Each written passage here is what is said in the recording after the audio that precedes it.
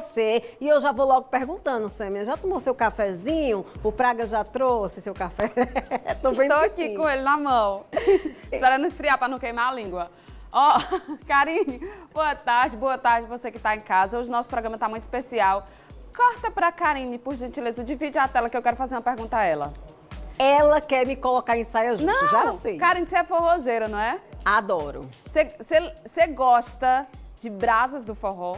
Ah, isso me lembra, inclusive, o tempo é, da minha juventude, né? O tempo que eu era jovem, porque eu já sou uma senhora idosa. Eu também. Então, Brasas do Forró marcou a minha vida, minha filha, de é. tantas maneiras que você nem imagina. Então, a adolescência, né? O início. Fortaleza, mulher, eu sou de Fortaleza, vivi atrás de Brasas, adoro. Fico muito feliz quando eles vêm aqui. Hoje eles estarão aqui Estão fazendo show em João Pessoa, vão dar uma passada aqui no Com Você, cantar muito pra gente, pra quem tá em casa.